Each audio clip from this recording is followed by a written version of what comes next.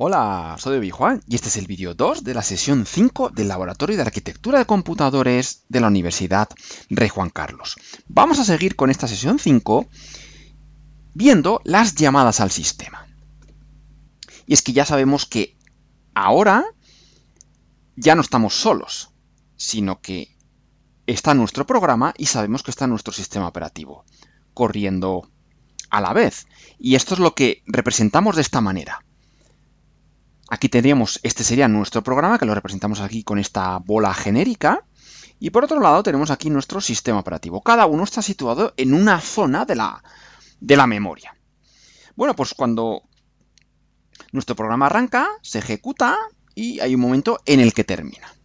Ya hemos visto cómo nuestro programa, si nos queremos comunicar con los periféricos, el mecanismo para hacerlo es el mecanismo de entrada-salida mapeado en memoria. De manera que aquí nosotros en cualquier momento, pues escribimos o leemos de ciertas posiciones de memoria donde están mapeados nuestros periféricos y nos comunicamos con estos periféricos. Bien, esto lo hemos, lo hemos visto con, con ejemplos muy sencillos de un display de 7 segmentos y con unos LEDs. Pero cuando son periféricos ya más complejos, por ejemplo, si queremos imprimir en una pantalla, en una consola, o queremos leer de un teclado, pues ya no es tan fácil que nosotros lo hagamos. Y eso normalmente está ya hecho en el sistema operativo. Es el sistema operativo el que, para comunicarse con los periféricos más avanzados, pues ya tiene el código para, para hacer eso. Ese código, la manera de comunicarse con el periférico es a través de del, mapa de memoria, como ya sabemos hacerlo. Lo que pasa que ya es el sistema operativo el que se encarga de gestionar todos estos detalles de bajo nivel. Cuál es el protocolo exacto de comunicación con la pantalla, cuáles son los registros que están mapeados y en qué direcciones, en fin, una información muy detallada de cómo está hecho, pues ya el sistema operativo lo hace por nosotros. De manera que nosotros si queremos acceder a un periférico que está soportado por el sistema operativo, lo que nosotros hacemos es, una vez que se ha, ejecutado nuestro programa, si queremos imprimir información en la pantalla, por ejemplo, pues decimos, oye, sistema operativo, quiero que me imprimas esta información en la pantalla.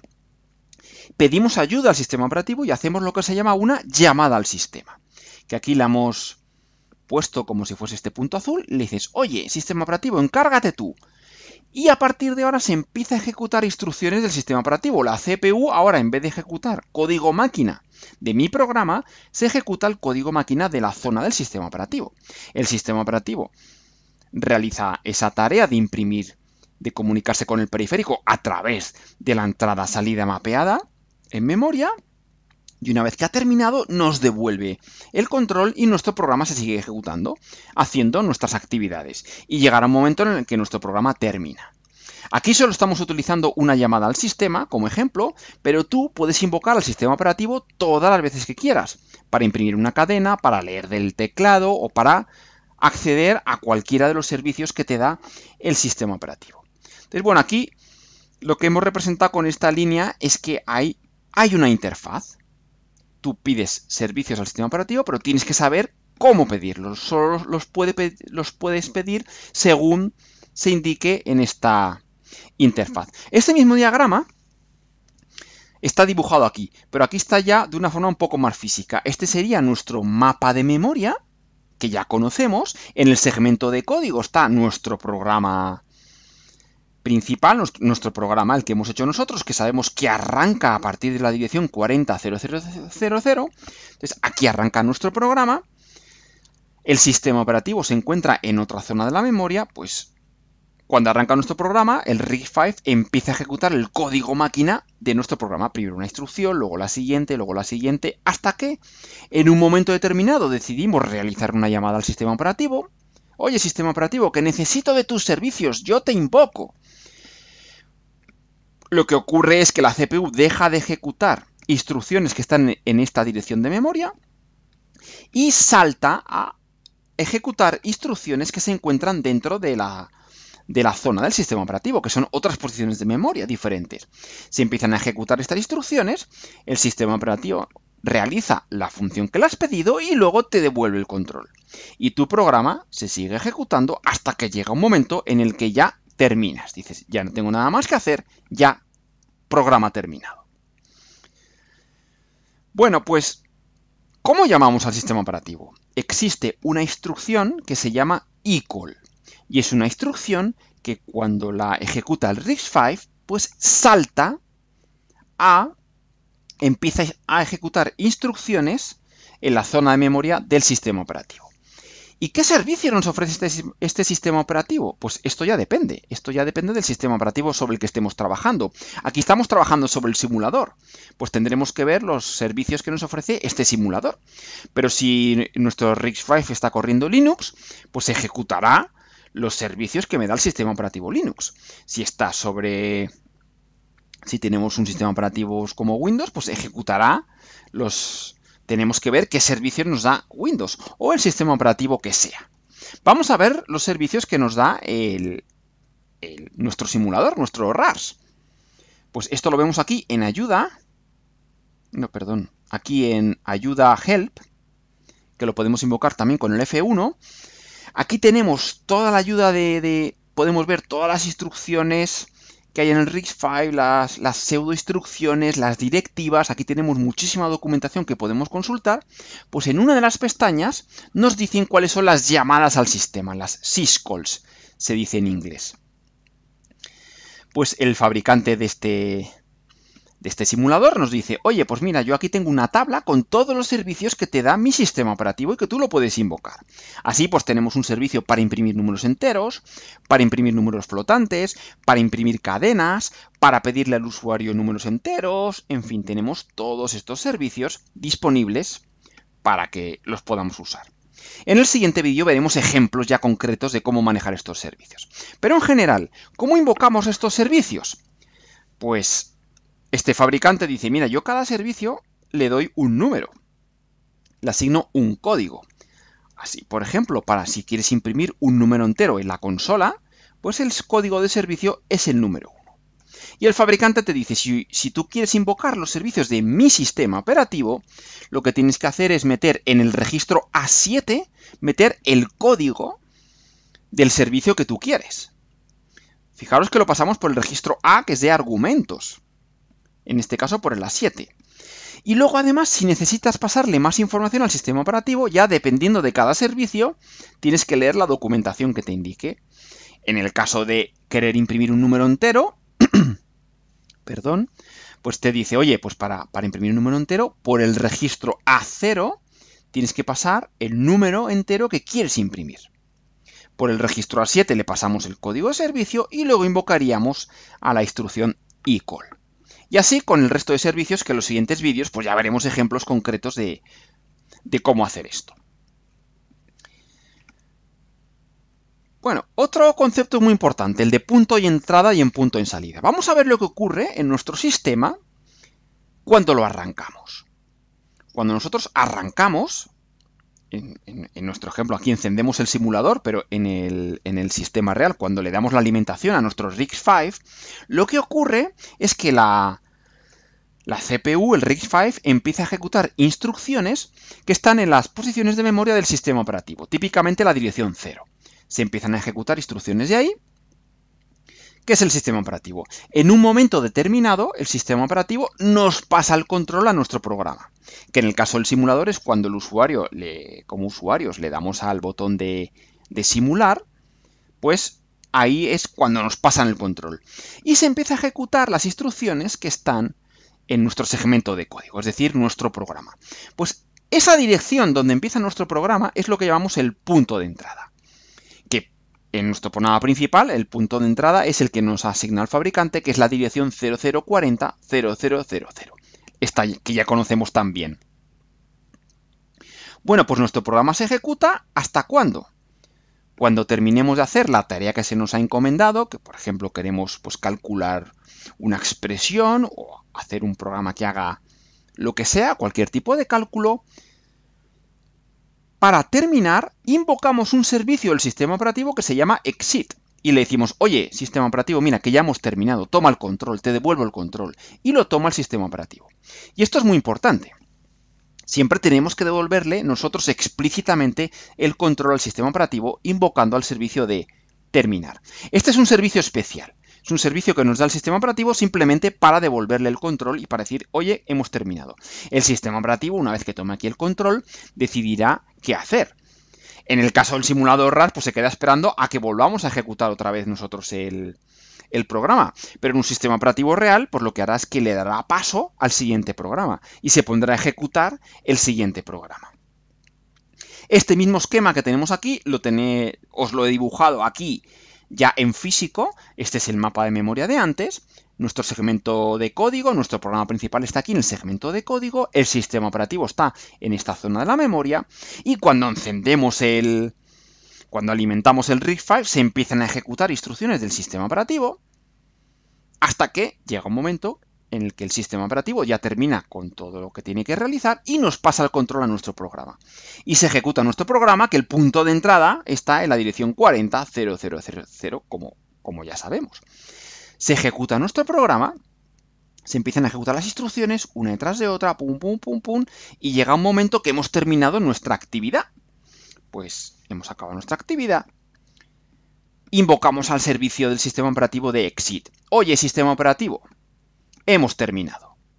Y entonces le devolvemos el control. Y el sistema operativo pues ya decidirá qué es lo siguiente que tiene que hacer. Y este es el primer servicio súper importante que vamos a aprender, porque es el, que nos permite implementar este punto de salida. Tenemos el punto de entrada y, y nosotros somos responsables de implementar este punto de salida llamando al sistema operativo. ¿Y cómo hacemos eso? Pues llamando al servicio exit. Pues lo vamos a ver, vamos a arrancar nuestro, nuestro simulador, vamos a ver en la documentación a ver dónde está el servicio de exit. Y empezamos a leer, no sé qué, read string, no sé qué, exit. Y aquí vemos que el servicio exit tiene el código 10 y no tenemos que pasarle ningún otro argumento. Estos son la información que hay que darle para es la información de entrada, la que le damos nosotros al sistema operativo y esto es lo que nos devuelve el sistema operativo. En este caso no nos devuelve nada ni tenemos que pasarle nada. Simplemente meter en el registro A7 el código 10 que se corresponde con el servicio de exit.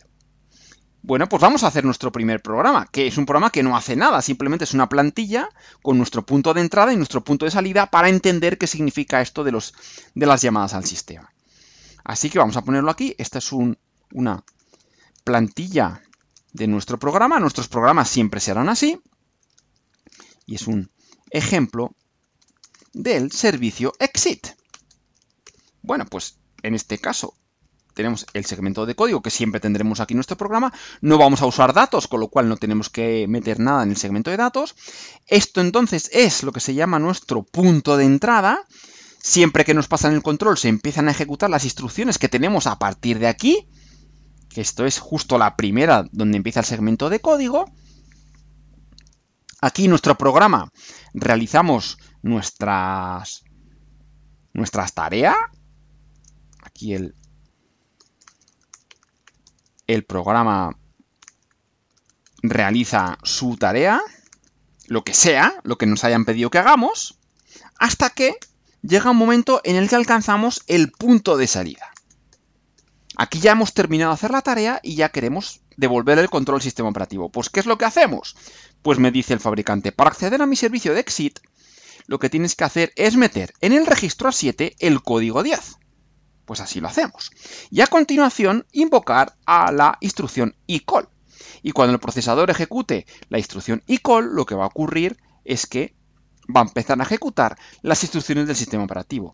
El sistema operativo lo primero que va a hacer va a ser, va a comprobar qué valor hay en el registro A7 y según el valor que le hayamos metido en el registro A7, pues va a ejecutar un servicio o va a ejecutar otro servicio. Así de fácil. Vamos a, probarlo. Esto ya lo conocíamos, pero ahora ya entendemos qué significa toda esta información. Y fijaros que usamos el registro de tipo A que son los de paso de argumentos. Es que estos registros se usan para eso, para pasar información entre diferentes programas, entre distintos elementos. Vamos a guardarlo, vamos a ensamblarlo, y si lo ejecutamos del tirón, pues obtenemos ya lo que tenemos siempre, que aquí el sistema operativo me dice, oye, el programa se ha terminado de ejecutar, y todo ha terminado normalmente, todo ha estado fenomenal. Bueno, imaginaos que, tenemos un programa aquí que le metemos en el registro T0, por ejemplo, pues el valor 5, hacemos unos cálculos y no invocamos al sistema operativo. Es decir, nuestro programa no, no, termina nunca. Hombre, el simulador esto lo detecta, no, no, no pasa nada en el simulador, porque le damos aquí, lo ejecutamos y veis que ahora me dice, el sistema operativo al final me dice, oye, que has llegado al final de tu código y no me has devuelto el control. El programa ha terminado, pero hemos terminado de una manera abrupta. O sea, no... Yo lo sé porque yo soy el simulador, tengo el control y sé que lo has terminado. Pero si lo ejecutases esto mismo en un sistema real, pues no le pasas nunca el control al sistema operativo, con lo cual aquí se liaría parda, se montaría un... un... Esto es un problema muy gordo. Entonces tú como ingeniero tienes que ser siempre responsable de, de, de tener el control de tu, del código. Entonces, siempre tienes que, cuando tú ya has terminado, le pasas el control al sistema operativo. Bueno, voy a quitar esta instrucción aquí. ¿Y no veis nada raro aquí en esta plantilla? Aquí, ahora, como yo como os lo he explicado, lo entendéis perfectísimamente.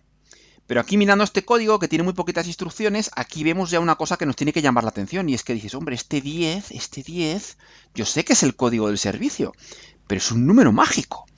Si yo a este código se lo doy a otra persona, se preguntará, bueno, pero este 10 ¿qué es? No, es que es el código, el sistema operativo de correspondiente al servicio de Exit. Ah, bueno. Porque me lo has contado tú. Pero es un número mágico. Y en general, en el código conviene no tener números mágicos. Aunque sepamos lo que es, conviene explicarlo. Porque luego puede haber otros ingenieros que utilizarán nuestro código. Entonces tienen que entenderlo, hay que facilitar la labor de entender. Así que estos números mágicos ya vimos que lo que vamos a hacer es vamos a definir una constante. Y vamos a decirle, hombre, mira, vamos a meter aquí, vamos a definir la constante exit, que es el servicio de salida, que tiene el código 10. Y lo vamos a poner aquí. Este es el, el código del servicio exit del sistema operativo.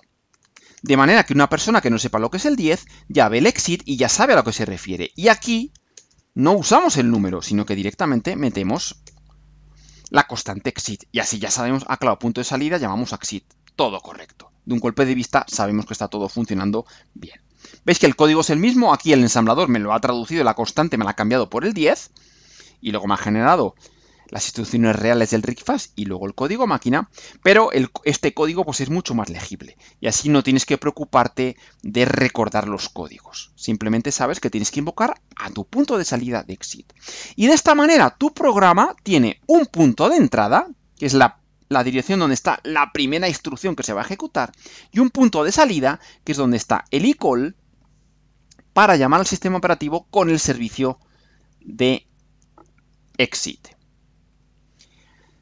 En el siguiente vídeo vamos a ver ya ejemplos de...